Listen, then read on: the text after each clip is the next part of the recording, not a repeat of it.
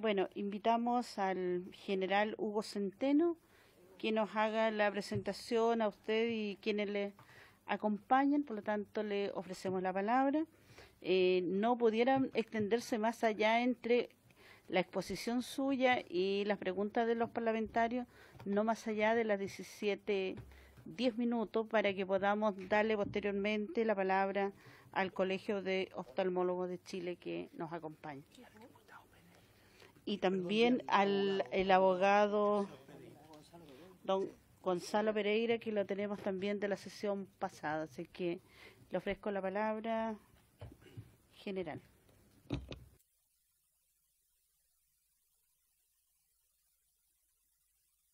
Mm, va a ser afectado muy gravemente nuestro parque vehicular para los servicios que la comunidad lógicamente va a requerir. General, quisiera pedirle, como veo que el texto es bastante extenso, eh, si pudiéramos acortar, porque no tenemos, y nos quedan como 20 minutos nomás y me imagino que la diputada Gers y otros van a querer preguntar. Como usted estime, señora Presidenta. Ya, para que pueda podamos entrar en las preguntas y usted pudiera ir respondiendo, yo creo que va a ser... y esos antecedentes le vamos a solicitar para que nos entregue la Secretaría y lo podamos compartir con cada uno de los diputados y diputadas. Como usted le estime conveniente, señora Presidenta. Por favor, porque los tiempos nos... Ya. Pero haga la pregunta, diputada. Eh, eh, Presidenta, eh, yo quisiera escuchar eh, al abogado Gonzalo Pereira, quien estuvo en la manifestación multitudinaria del día 27 de octubre, me parece, y al, eh, al, tenor, digamos, de lo, que él señalado, perdón, al tenor de lo que él nos, cuente y lo señalado por el jefe policial de la quinta zona, formularía eh, algunas preguntas, Presidenta. Ya. Gracias. De acuerdo a la solicitud que me hace la diputada Gers, le voy a dar la palabra al abogado y académico señor Gonzalo Pereira. Muchas gracias, señora presidenta. Yo agradezco esta invitación. Muchas gracias, señora presidenta.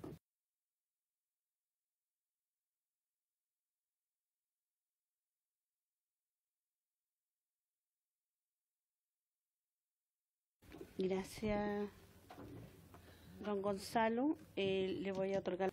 Gracias, don Gonzalo. Eh, la palabra al general para que pueda contestar y posteriormente. No, necesito, necesito, general, que usted pueda contestar porque los tiempos que nos quedan son muy breves. Bueno, eh, en primer lugar, señora Presidenta, por su intermedio, eh, he escuchado atentamente todos los, relatos de, aquí del señor abogado Gonzalo Pereira. Eh, decirle que nuestra institución no ampara ningún, ningún exceso, en primer lugar. Eh, estas manifestaciones no son autorizadas, en primer lugar. Efectivamente, el desplazamiento por los cerros, que fue por la avenida Alemania, eh, con los pueblos originarios y todo, eh, fue incluso nosotros le dimos la posibilidad de que marcharan por todo lo que es la columna eh, vertebral de, la- de los cerros.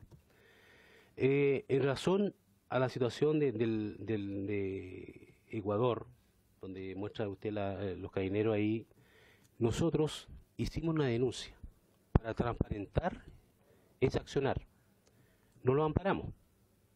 Y dispuse de un sumario. Eso para que usted, por favor, lo tenga eh, bien presente. Pero nosotros hicimos la denuncia el mismo día, cuando vimos ese, ese video. Los videos hoy en día, todo lo que es las redes sociales, también quiero hacerlo presente, hay mucha información y también mucha desinformación. Entonces, hay que ver el contexto de lo que ocurrió. Y como con el debido proceso, lógicamente está la Fiscalía Administrativa con las instrucciones precisas para determinar si es que hay responsabilidades, responsabilidades hay. Van a ver, eso lo va a determinar la investigación, el sumario. Y usted sabe ver en el principio de inocencia. Pero si hay un exceso, tenga por seguridad que nosotros no amparamos, nuestra institución no ampara y nosotros hicimos la denuncia y hay un sumario en trámite.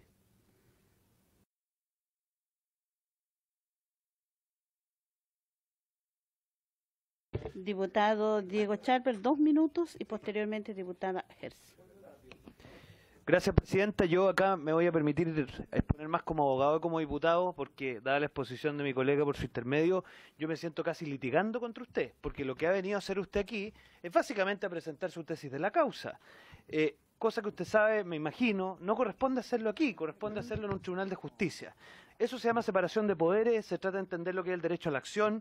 Eh, me parece que usted lo que ha hecho, con todo el respeto, Presidenta, es faltar al debido proceso de una manera inaceptable, porque aquí no hay posibilidad de defenderse, eh, o no puede defenderse con la libertad que se quisiera. Usted sabe perfectamente que el debido proceso, o si no, se saltó la clase de Derecho Constitucional nomás, requiere una bilateralidad de la audiencia, requiere un derecho a la acción, requiere la posibilidad de presentar pruebas, y usted aquí ha expuesto en detalle sus tesis, sin posibilidad de contestar, lo cual me parece, al menos, Presidenta, eh, una falta, eh, digamos, desde el punto de vista de la, de la, de la, del rol del abogado muy curiosa. Yo no sé si tenemos todo derecho a traer nuestros abogados para plantear nuestras tesis propias aquí, porque, porque si eso es así, tengo una nueva novedad.